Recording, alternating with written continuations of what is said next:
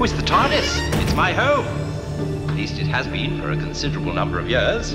We're searching the universe for the last remains of the Cybermen. We know they died out many centuries ago. What we don't know is why they died out. Behold, gentlemen, tombs of the Cybermen. Oh! Why couldn't you leave it alone? What's happening? I don't know.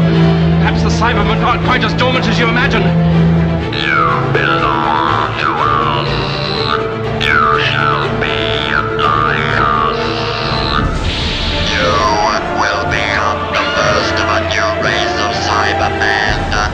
But we're humans, we're not like you. You will be. They're evil. They must be destroyed. Cybermen will attack. You think the Cybermen will help you? Of course. I shall be their resurrector. The humanoids must be destroyed.